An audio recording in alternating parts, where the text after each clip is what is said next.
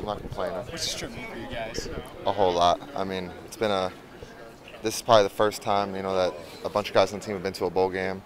Um, I've been the one back in 2018. Uh, I did not play in that game, so it's my first actual bowl game playing. So I'm looking forward to. it. I'm excited. Um, you know, it's been a great trip so far. The coach has been taking care of us. They know how to do it the right way, and I'm just ready to get to the game.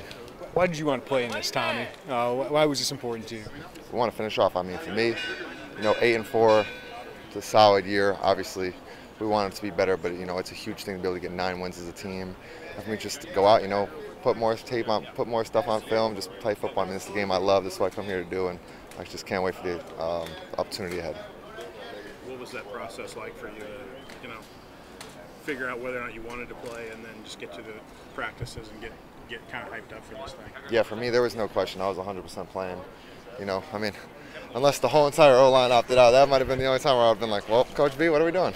But besides that, I mean, I was playing the whole way. I've been excited for it. You know, we've had obviously some downtime. Coach has given us time to just relax, decompress from a long season. So now just getting everything fired back up, knocking a little bit of the Christmas rust off, all the food that everyone's been eating, and getting ready to play here in a couple days. They always talk about, from a health standpoint, you're probably as healthy as you've been all year. Just, do you feel that way with your body and everything? Yes, sir. Yeah. I mean, this is the healthiest I've felt after a season, you know, ever. So thanks to the O line, running backs, play calling, everything that goes into that. But um, yeah, I'm just blessed and thankful to be healthy going into this game and getting ready to play. What did you expect coming into this year's Tommy? I expected just to have fun for myself, like personal goals, just myself, just to play football.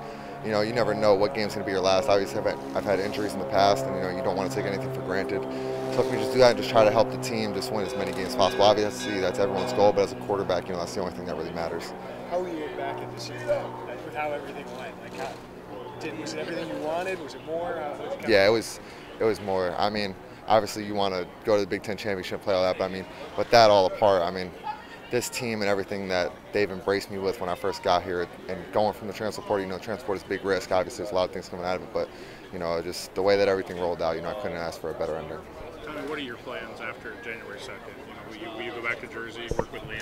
Is that, is that the plan? Or No, so for the draft? yeah, I'm gonna be staying out here in Florida, and I'm gonna train down here, and you know, do all my draft training and all that stuff down here. So, be able to stay in the sun a little bit longer. Maybe I'll get my tan back, and no, I'm looking forward to it. But you know, one thing at a time. Handle this game, end it up the right way.